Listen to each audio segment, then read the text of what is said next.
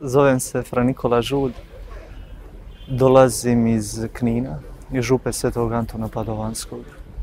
Imam 28 godina. Rođen sam tu u Splitu, cijeli život živim u Kninu, u obitelji sa četvero djece. Osnovnu školu i srednju sam završio u Kninu. Do 19. svoje godine sam živio kao i svaki drugi mladić. Samo što se u mom srcu često javljala misa o vječnosti. Šta ako, ako postoji život poslije ovoga života? Mučilo me to pitanje. To pitanje mi nije ulijevalo nikakvu nadu jer nisam poznavao ni Isusa ni onoga koji, koji ima vlast nad vječnošću i nad mojim životom. Videći e, kraj svakom savršenstvu, videći kraj svakom užitku kojeg sam imao i kojeg sam mogao imati, budilo se, budilo se u meni pitanje šta ako Bog postoji zaista i šta ako je Bog osoban, šta ako ima plan sa mnom.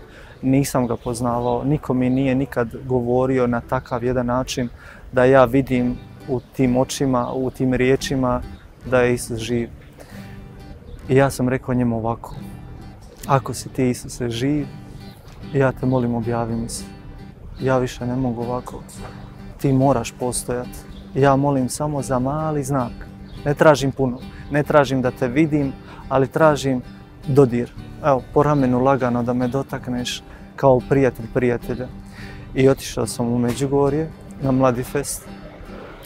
Poveo djevojku, prijatelje, svi se skupili idemo mi u Međugorje. A niko nije znao da sam ja par dana bio u devetnici Božanskog milosrđa. E, s nakanom samo želim spoznati je li Bog živ.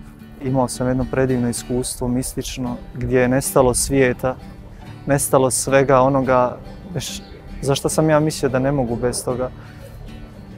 A on je došao.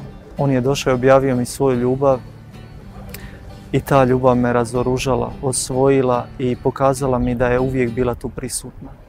I gospodin mi je stavio u srce, želim da budeš moj svećenik. I onda sam rekao, nema šanse. Sad, sad, sad te znam, imam lijepo djevojku, imam prijatelje, posao. Biće sve kako treba, sad samo tebe uklopim u to svoje i molit ćemo tako, bit ćemo predivni.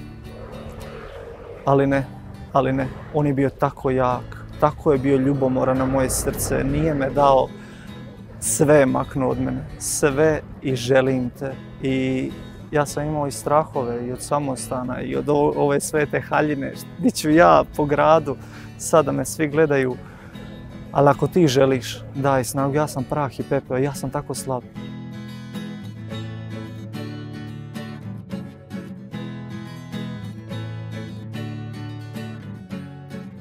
Okolina je reagirala najprije kad sam krenuo za Isusom, bilo je to je hir. To je hir, proće ga. Proće kao što ga je sve prošlo, jer kao što sam rekao, svemu sam vidio granicu i kraj i vrlo lako bi e, sve ostalo iza mene. Ja bi tražio drugo, drugo zadovoljstvo. Tako je bilo i tako su mislili da će biti sa Isusom. Ali ovom savršenstvu nema kraja. Ovo ljubavi nema kraja. I ja svaki dan sve luđi i luđi, svaki dan sve više i više volim. On se više i više mijenja.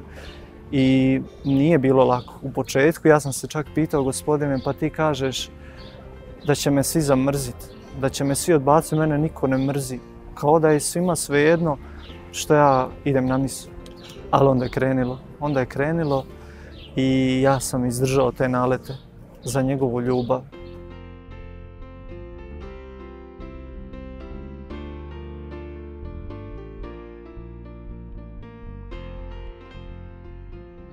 Život u samostanu je zanimljiv.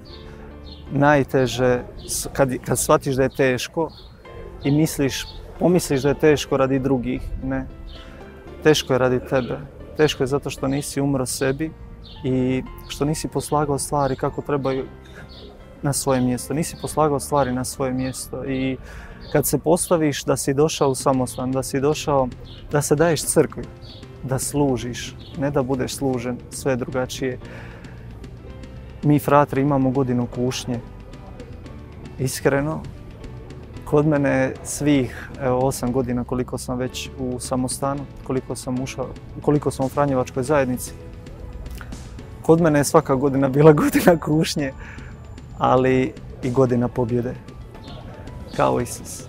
Pastir, tako velika srca, ne za čovjeka, ne za društvo određeno, ne za jedan narod, nego tako srce rastvoreno za narode, za cijeli svijet. Neka, neka se napoji kod kogod je žedan. Eto, takav želim biti svećenik. Svećenik srca Isusova, pastir koji se neće bojati voditi svoje stado i, i takvu ljubav nositi u srcu da će i vuk se pretvoriti u janje.